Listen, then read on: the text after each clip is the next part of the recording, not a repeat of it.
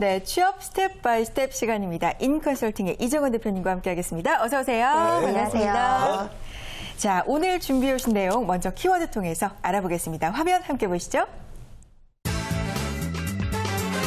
비전을 현실로 만들기라고 나왔는데요. 네. 음, 비전에 대한 얘기 지난번에 이어서 오늘도 가지고 오신 것 같은데 네네. 현실로 만들려면 이게 또 구체화된 뭔가가 필요하잖아요. 오늘 어떤 이야기 준비하신 거예요? 네, 지난주에 우리 비전을 만들기 위한 세 가지의 사전 준비 단계에 대해서 알아봤습니다. 네. 뭐 의미 있는 목표 만들기, 뚜렷한 가치관, 그리고 미래의 청사진인 내비게이터를 만들라라는 이야기를 해봐야 하는데요. 네네네. 그렇다면 오늘은 본격적으로 비전을 현실로 만들기 위한 방법에 대해서 알아보도록 하겠습니다. 네. 자, 지난번에 또 이야기 해 주셨죠. 그리고, 어, 반성도 많이 했습니다. 예. 자, 나의 앞으로 비전은 무엇인지 또 어디로 따라가야 될지를 새삼 좀 많이 생각해 보는 그런 시간이었는데요. 네. 우리 구직자분들도요, 어, 날씨 특히 선선할 때 조금 이렇게 비전을 현실로 만드는 법, 네, 그리고, 어, 인생을 제대로 또 어디로 갈 수 있는지 그런 방법을 좀 여러분 오늘 이 시간을 통해서 배워가셨으면 좋겠습니다. 네. 예.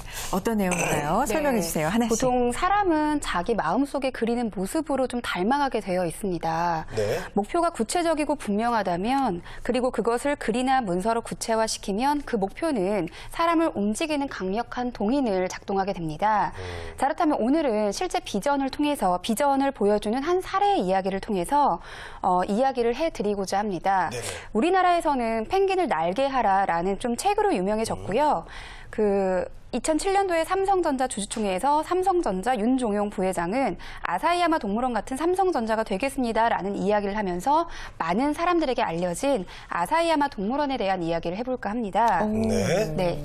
자, 굴지의 대기업이 동물원을 담겠다고 그러게요. 예, 이렇게 해주셨습니다. 뭔가 좀 어, 뒤바뀐 것 같은데요. 흥미로워요. 예, 뭐, 그래도 네. 뭔가 그 뒤에는 숨은 뜻이 있을 것 같아요. 네. 어떤 이야기인가요? 아사히야마 동물원은 그 일본 아사히가와 시에서 운영하는 곳입니다.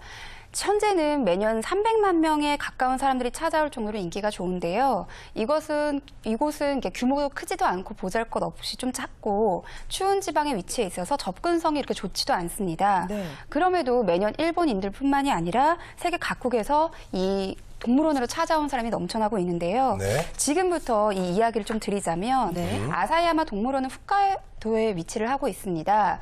아, 서울대공원 가보셨죠? 가봤죠. 네, 서울대공원 동물원의 면적이 한 4분의 3 정도? 그러니까 어, 그렇게 넓지만 넓지 않다는. 거죠. 특히나 네. 서, 세계에 있는 많은 사람들이 찾아올 정도로 크지 않은 위치를 가지고 그러네요. 있는데 67년도에 개원을 하였지만 관람객 수가 적어서 82년도에는 시로부터 투자 중단이 되고요. 95년도에는 시의회에서 폐원 논의가 되기 시작합니다. 보통 이렇게 관람객 수가 적고 또 해야 될 일이 없으면 보통 이렇게 시의원에서 폐원 논의가 될 때 직원들 이 잘 됐다 차라리 우리 좀 이번에 폐원되고 좀 일 잘하는 곳에 갔으면 좋겠다라고 생각도 할 법하잖아요. 네네. 근데 이 동물원에서 일하고 있는 직원들은 이 동물원을 살리기 위해서 이때부터 기적을 보여주기 시작합니다. 네. 기적의 전과 후의 관람객 수를 보면요. 네네. 시의회 의원에서 폐원이 논의가 될 때는 20, 26만 명에 그쳤던 것이 기적 이후에 2001년에는 57만, 2004년에는 124만, 2007년에는 110만 등 끊임없는 관람객을 동물원으로 발길을 돌리게 하였습니다. 네. 26만, 57만, 124만, 310만. 계속 늘어요? 오, 진짜 많이 늘어났는데 네. 기적이 아무래도 그 원동력 이유가 아니었을까 싶은데 그 네. 기적을 한번 알아보죠 이제. 공룡이라도 갖다 놨나요? 보통 이렇게 폐원이 논의가 되기 시작하면 네. 어, 더 의욕이 없어질 수 있잖아요. 근데 이 사람들은 비판적으로 이 사안을 바라보는 것이 아니라 어떻게 해야지만 우리의 미래를 향한 도약의 시간을 갖게 하는지 정말 말 그대로 고난의 시간을 갖게 됩니다. 사육사들이 자발적인 학습과 더불어서 무언가를 강요하지, 강요하지 않는 분위기 속에서 끊임없이 연구하고 변화를 도모함으로써 성공 경영의 모델이 되어가기 시작합니다. 네. 서로 의논하고 미래의 모습을 열심히, 열심히 스케치하면서 미래를 구상했고요. 실제 그 결과는 적중을 하였습니다. 네. 어, 기존의 동물원이 그저 동물원을 구경하는 차원이었다면 아사히야마 동물원 같은 경우에는 동물과 인간이 함께 호흡하고 교감하는 차원을 꿈꿨고 그저 이거의 상상만이 아니라 현실로 성공을 시켰다라는 거죠. 네. 실제 사육사들이 하는 일이 동물을 보살피는 것과 동물의 특성을 잘 파악하는 거잖아요. 음. 우리가 동물원 같은 경우는 정말 단순히 구경한다라는 그렇죠. 개념이었다면 이 아사히야마 같은 경우는 폐원이 논의가 시작되면서 자발적인 학습을 통해서 누구보다 동물에 대해서 잘 아는 건 우리다. 그렇다면 관람객에게 소개하는 시스템을 통해 서 관람객의, 관람객의 관심을 이 동물들이 가지고 있는 자연스러운 습성을 통해서 알려주는 것이 좋겠다라고 파악을 하기 시작합니다. 네. 네. 그래서 비처럼 빠르게 물속을 날아다니는 펭귄, 눈앞에서 헤엄치는 바다 표범, 어. 그리고 사람들의 머리 위로 맹수들이 유유자적 거니는 모습을 등 표범 등 새로운 전시 방법을 고안해 내고요. 실제 이게 히트를 칩니다. 펭귄이 네. 하루에 한 번 산책을 한대요. 네. 산책이요. 근데, 예. 펭귄이요? 근데 예. 그 산책을 함께 할 수 있게끔 관람객들을 걸을 수 있는 시간들을 함께 펭귄과 함께 걸을 수 있는 시간을 만들어주기 시작합니다. 오. 그래서 매해 전 세계에서 이 펭귄과 함께 산책을 하기 위해서 음. 많은 사람들이 이곳을 방문을 한다라고 합니다. 실제 우리나라 항공사에서도요. 하루에 2회에 걸쳐서 비행기 편수가 생겼을 정도로 대단히 인기라는 거죠. 오, 그렇군요. 정말 인기가 많았네요. 그럼 사육사들의 생각도 또 남달랐을 것 같은데 이 사육사들 얘기 한번 들어볼 수 있을까요? 네, 실제 그한 네. 인터뷰에서 사육사들에게 하는 일이 무엇이냐고 물었습니다. 네. 근데 보통 아마 그 폐, 폐원이 논의기 저- 전에는 아마 사육사들이 저희는 교육, 그, 동물을 훈련시키는 역할을 하고 있습니다라고 답변을 했을 수도 있을 것 아. 같아요. 네네네. 그런데 이때 기적을 보여주면서 이 네. 사육사들이 한결같이 똑같이 답변을 했다라는 게 있습니다. 바로 우리는 생명을 전하는 일을 하고 있습니다라는 아. 사명을 밝히기도 했다라고 해요. 네. 무엇보다 자신이 하는 일에 대한 사명을 가지고 있었고 또한 그 일에 대한 책임감 그리고 미래를 위한 계획과 실행이 너무나도 바람직하게 보였던 하나의 사례라고 볼 수 있습니다. 네, 정말 대단 하네요. 보통 이렇게 이제 어, 회사나 이런 곳이 문을 닫게 된다 그러면은 아우 이제 또 나도 다른 살 길을 모색해야겠구나. 그렇죠. 다른 데 알아보고 그만두거나 이렇게 하는데 그렇죠. 어, 끝까지 포기하지 않는 그 의지도 대단하지만 또 네. 창의력을 발휘해가지고 동물원을 살렸잖아요. 펭귄이랑 같이 다 저도 산책하고 싶은데. 아, 동물원 아직 열려 있네. 아, 하고 있어요? 우리나라에는 개봉이 안 됐지만 일본에서는 실제 이 영화가 개봉이 되었을 정도로 아. 상당히 많은 사람들에게 그 비전에 관련된 목표에 관련된 사례로 들려줬던 케이스라고 볼 수 있습니다. 네. 음, 대단합니다. 그러면 이 비전하고 연관을 시켜본다면 여기서 어떤 걸 배울 수가 있을까요?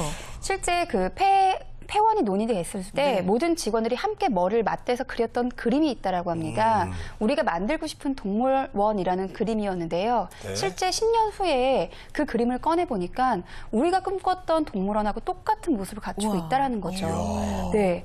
사실 이 이야기는 직원 모두가 변화의 주체가 되어서 행동함으로써 성공을 일궈냈던 사례 중에 하나입니다.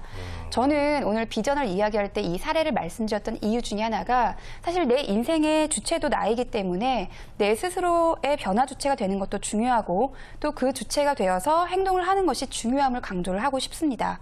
네. 이처럼 비전을 구체화시킬 때 가장 먼저 해보라고 하는 것이 바로 시각화하는 겁니다. 네. 그것이 바로 비전을 만드는 첫 번째 방법 중에 하나입니다. 시각, 시각화. 네, 비전을 만드는 첫 번째 방법 시각화 지금 말씀해 주셨는데 이거 상당히 사실은 많이 들어요. 뭐 성공을 하고 싶을 때 그 모습을 머릿속에 생생하게 시각화를 하면은 그게 더 빨리 이루어진다 뭐 이런 얘기 있는데 네. 사실 이게 말이 쉽지. 얼마만큼 생생해야 되고 이런 게 좀 어렵거든요. 어떻게 네. 될까요? 지금 말씀하신 것처럼 네. 이따가도 잠깐 언급을 해드리겠지만 이게 막연하게 생각하기 때문에 혹은 그냥 머릿속에서만 생각하기 때문에 이게 어렵다라고 생각을 하실 수가 있습니다. 네. 지난주에 말씀드린 사전 준비가 여기에 좀 먼저 해당이 되는데요. 자신 스스로의 인생의 경영 마인드가 무엇인지 잘 살- 생각해 보셔야 되고 또 둘째로는 장기 목표 그리고 그러니까 장기 목표라는 것은 즉 자신이 미래상을 명확하게 설정해야 된다라는 거죠. 네. 마지막으로는 모든 현장 활동 자체가 비전을 중심으로 합리적으로 수행될 수 있도록 생각해 보시는 게 중요합니다. 네. 알겠습니다. 그러면 자, 그렇다면 이제 비전을 드러내고 싶어요. 그렇죠. 그럼 어떻게 실천해야 되는지 또. 네. 네. 비전을 조금 더 잘 실천하기 위해서는 좀 세부적으로 계획을 먼저 짜는 게 중요합니다. 세부적으로? 네. 육체적인 목표, 뭐 가정적인 목표, 경제적인 목표, 정신적인 목표, 사회적 목표 이렇게 세분화시켜 놓은 다음에 그 세부화된 계획들을 글로 적어서 잘 보이는 곳에 붙여놓고 스스로에게 해낼 수 있다는 긍정적 자기 암시를 하는 겁니다. 어. 사실 긍정적 자기 암시는 결국 현실이 되는 경우를 많이 봤습니다. 네. 또 하나는 이 비전을 친구들 혹은 가족들, 내 주변 사람들에게 알리는 겁니다. 박정원 MC의 경우에는 혹시 그 다이어트를 시작했을 때 네. 혹은 강의를 하고 싶다라고 했을 때.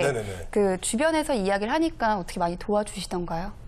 주변에서요? 조언을 많이 해주죠, 아무래도. 음. 예. 근데 결국은 제가 혼자 해야 되잖아요. 아, 그래요? 예, 그래서. 명확하게 이야기를 안 하셨나 보네요. 예. 아, 근데 그- 저는 많이 도와드리잖아요. 다이어트 한다고 하니까 이제 어디 같이 커피 마시러 가도 쏙 빼놓고 시키고. 네.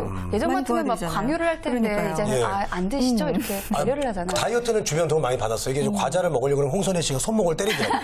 예.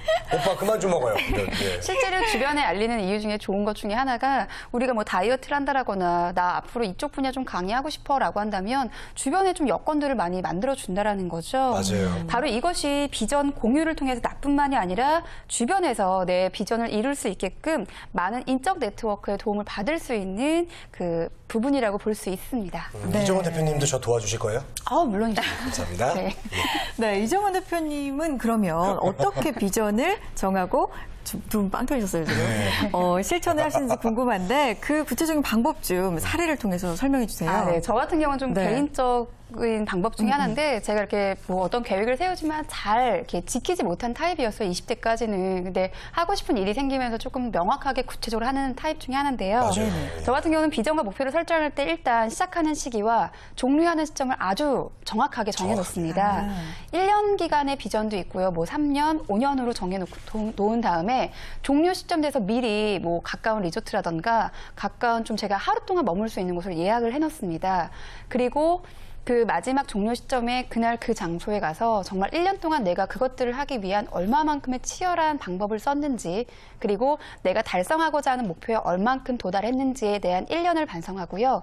또 앞으로의 1년을 다시 한번 계획을 세워보는 시간을 갖기 시작합니다. 네. 자, 제가 지금 말씀드렸던 것처럼 여기에 또 하나의 방법이 있습니다.